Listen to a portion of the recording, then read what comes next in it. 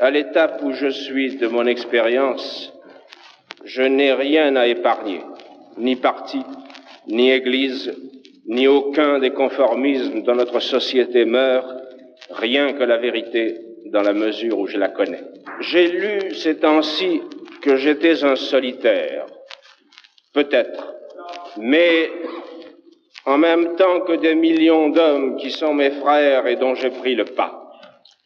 J'essaie en tout cas, solitaire ou non, de faire mon métier, et si je le trouve parfois dur, c'est qu'il s'exerce principalement dans la ces affreuse société intellectuelle où nous vivons, où l'on se fait un point d'honneur de la déloyauté, où le réflexe a remplacé la réflexion, où l'on pense à coups de slogan, comme le chien de Pavlov salivait à coups de cloche, et où la méchanceté essaie trop souvent de se faire passer pour l'intelligence.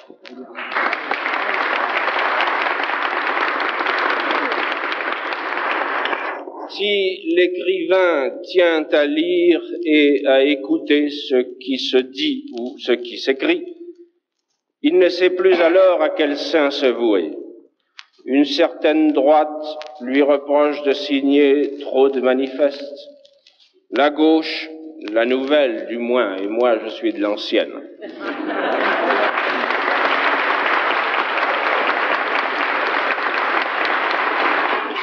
La gauche donc lui reprochera de n'en pas signer assez. La droite lui reproche d'être un humanitaire fumeux. La gauche lui reproche d'être un aristocrate. La droite l'accuse d'écrire trop mal et la gauche lui reproche d'écrire trop bien. Restez un artiste ou ayez honte de l'être, parlez ou taisez-vous et de toute manière vous serez condamné.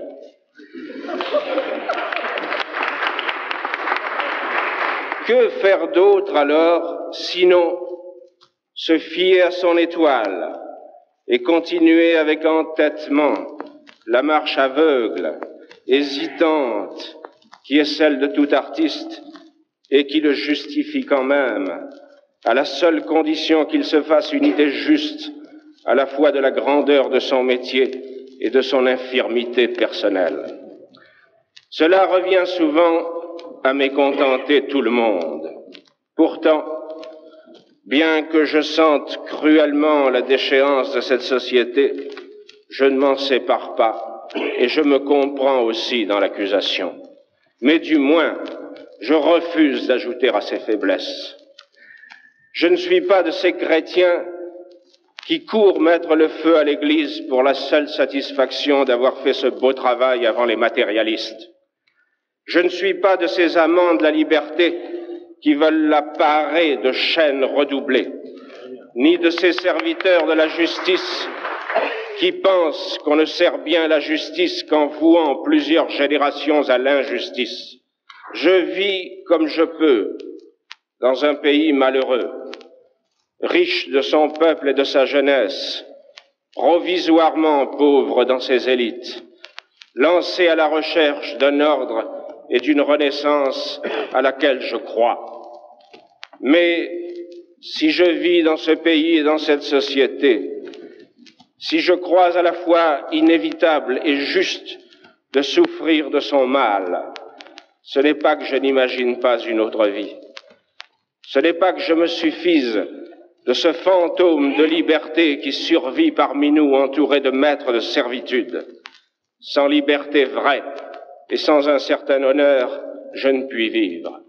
Et l'ayant reconnu une fois, ayant jugé que ces biens sont au-dessus de tout, il m'a semblé qu'ils devaient être assurés à tous et qu'en attendant que leur règne arrive, il fallait lutter sans trêve pour témoigner en, en, leur faveur dans la mesure de nos forces. Voilà l'idée que je me fais de mon métier. Je ne sais pas si j'ai donné trop ou pas assez de signatures, si je suis prince ou balayeur, mais je sais que j'ai essayé de respecter mon métier, à défaut de pouvoir m'estimer moi-même naïvement. Et je sais aussi que j'ai essayé plus particulièrement de respecter les mots que j'écrivais, puisqu'à travers eux, je voulais respecter ceux qui pouvaient les lire et que je ne voulais pas tromper.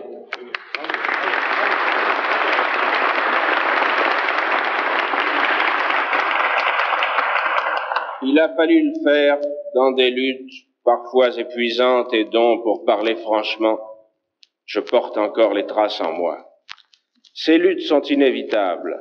Je les ai acceptées et je les accepterai. Mais je sais qu'elles risquent aussi de me dessécher, de me faire connaître des amertumes pour lesquelles je ne suis pas fait. Elles risquent en un mot de me rendre avare et de m'ôter cette grande force de joie et de vie sans laquelle un artiste n'est rien. Si j'ai échappé finalement à ce danger, et c'est là que je voulais en venir, c'est à certains d'entre vous que je le dois, même s'ils l'ignorent. Partant, je leur dois presque tout. Ces hommes sont de tous les partis et de toutes les patries. Mais vous me permettrez de symboliser tous ces amis ce soir dans l'Espagne de l'exil.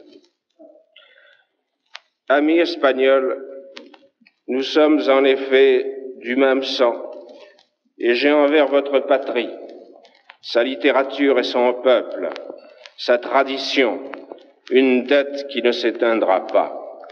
Mais j'ai envers vous une autre dette que vous ne connaissez pas et ne pouvez pas connaître. Dans la vie d'un écrivain de combat, il faut des sources chaleureuses pour venir combattre l'assombrissement et le dessèchement qu'on trouve dans la lutte.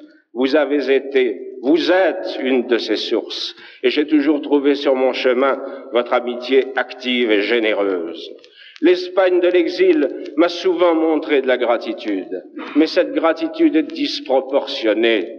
Les exilés espagnols se sont battus pendant des années et puis ils ont accepté fièrement la douleur interminable de l'exil. Moi, j'ai seulement décrit qu'ils avaient raison. Et pour cela seulement, j'ai reçu depuis des années, et ce soir encore dans les regards que je rencontre, la fidèle, la loyale amitié espagnole qui m'a aidé à vivre.